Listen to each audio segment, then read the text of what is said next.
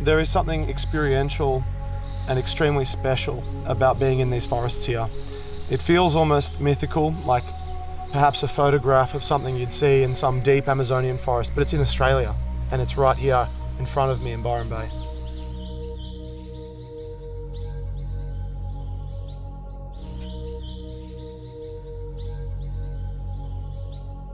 So I became part of Reforest now, and I call them the Rewilding Spartans. They're an incredible team.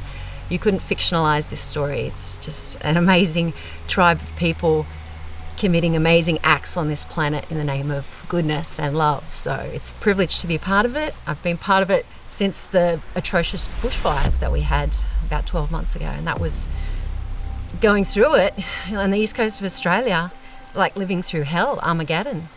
So that was the big wake up call for me. It was just time to get on my knees and plant a tree.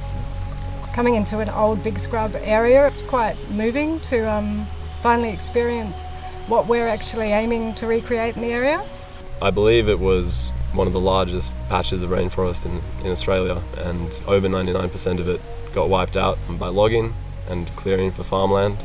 There's only 1%, less than 1% left of the big scrub in the Byron Shire, and it's quite shocking because it, it looks so green and, and lush. We talk about all the biology and how it affects humans, you know, the fresh water, the fresh air, and we can't survive without it.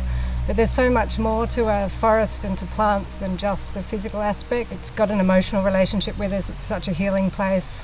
Reforest now does what I and many other scientists believe to be one of the most crucial actions against the ecological and climate crises we face. We've done about 120,000 rainforest trees planted, and we're marching forward at about 9,000 trees a week.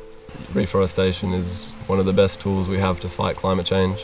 I grew up watching David Attenborough documentaries, and I want all this to be here for, for my children and for future children. I don't just want that record to be digital only, I want the real thing to be there and be visible to them.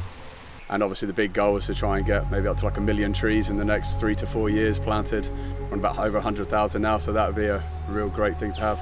Mm. It's a great experience and it's a great setting. That's all I can say really. Like if you haven't tried it, come see the rainforest. It will change your life. And you get seeing stuff that you didn't think you'd ever see.